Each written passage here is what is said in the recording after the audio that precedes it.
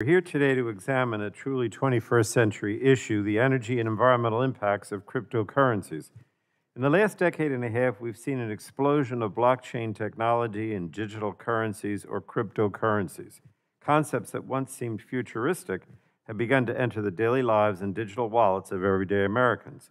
Bitcoin alone grew to a market cap of more than $900 billion last year.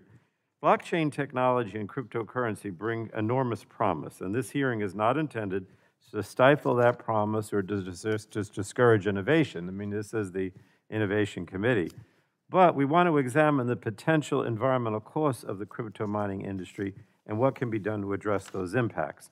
So right now, some blockchains are consuming enormous amounts of energy. One estimate found that the energy required to process transactions on the Bitcoin network could power a home for more than 70 days. Last year, there were hundreds of thousands of transactions on this network, and just imagine the climate implications.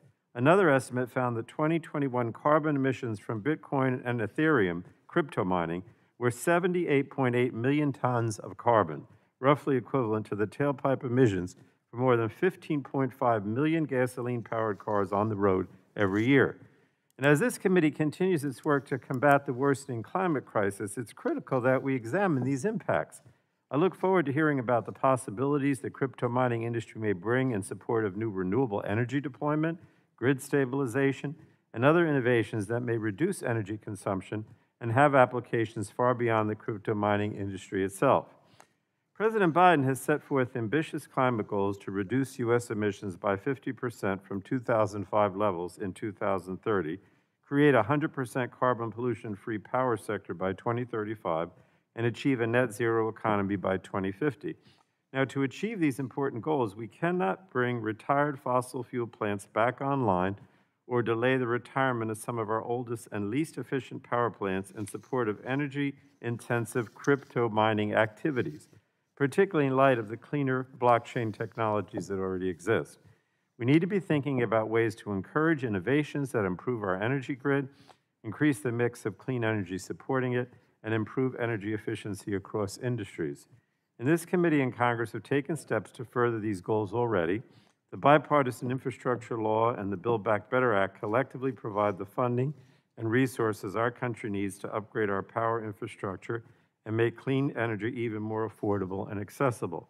These investments in our future will reduce greenhouse gas pollution, build a clean power grid, create jobs in support of the clean energy transition, and provide cheaper energy. It's also important to focus on how crypto mining can affect the affordability of electricity for American consumers. I was struck by the example of Plattsburgh, New York, a few winters ago.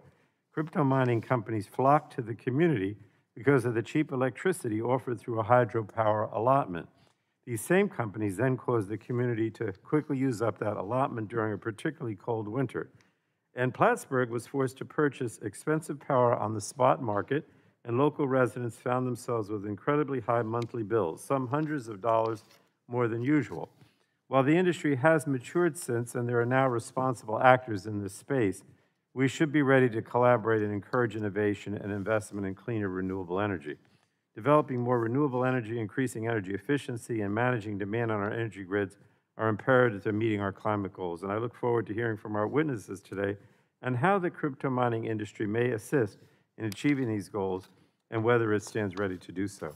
I yield back, uh, Madam Chair, but I do believe this is a, a significant oversight here. Thank you for putting it together.